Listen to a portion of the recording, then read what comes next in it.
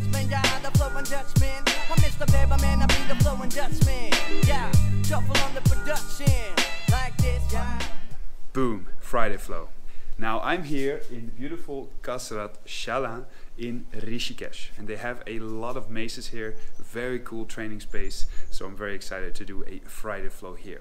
This week we're going to talk about the front swing with the snake grip, so the snake front swing. Now to start this movement, what is important is that you're going to grab the mace about halfway with your thumb away from the globe. So that will be dagger grip. Now in this way you can just start to pendulum the mace around. So make sure that you have a stable anchor point and from the forearm you're gonna twist the mace. Now we're basically gonna enter, so access and get out of the snake grip. Now from here, the dagger grip, you're gonna tilt and the moment the mace comes up, you're gonna just lay it on your forearm like that.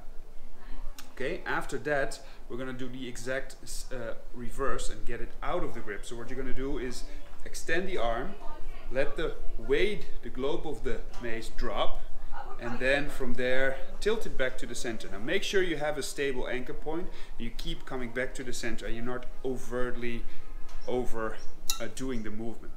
Now from here, we're gonna make the actual front swing. Now to do this front swing, what we're gonna do is start with the, um, the front side, and then we move to the back side. Okay, so from the front corridor, I'm first gonna enter the snake grip. Now from that snake grip, the momentum moves up.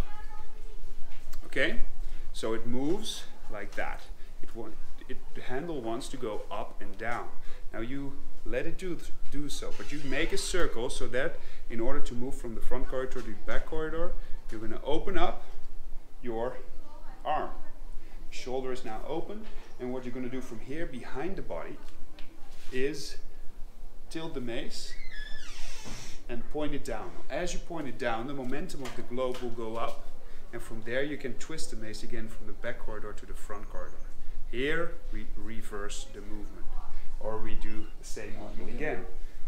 So enter, curl around, let go, twist to the front, and enter the snake grip again. Okay, now you can also do that on the other side.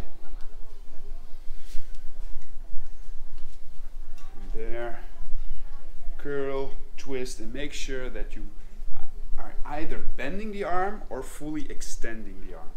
Okay, so bend and extend. In that way you can create that pendulum of the weight. Make sure that it is as smooth as it can get. Okay, this is the snake front swing.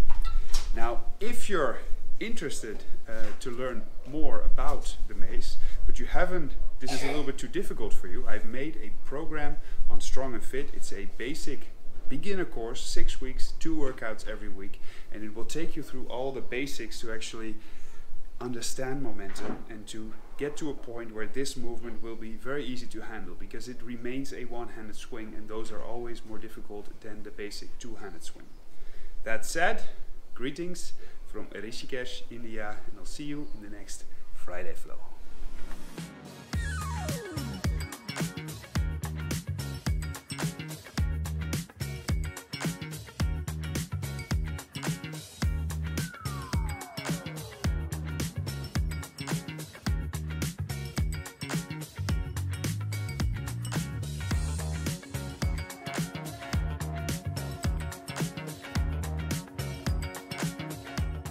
Thank you for your attention, it's greatly appreciated.